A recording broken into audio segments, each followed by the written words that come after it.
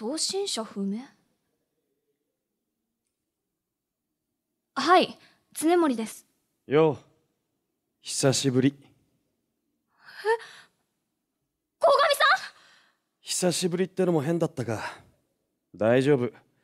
遠隔操作を使った複雑な経路で連絡してるから盗聴の心配はない。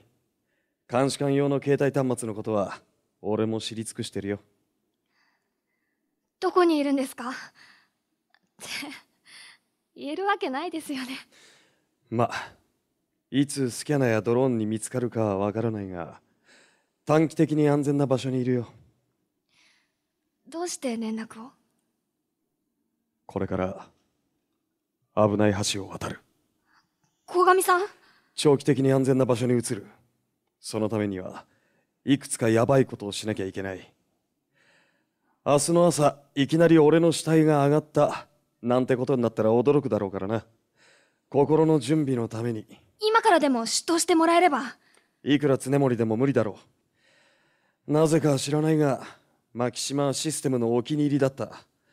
それを殺した俺をシステムは許さない。どのみちこれで本当にさよならだ。生き延びるにしても死ぬにしても。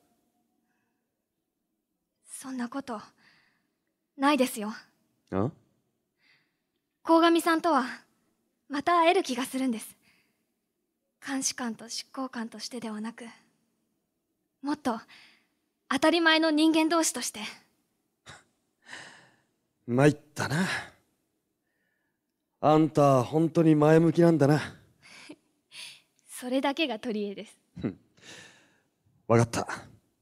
また会える日を俺も楽しみにしてるよそれじゃな。はい。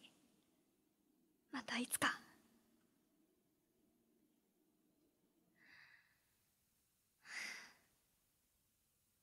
鴻上さん。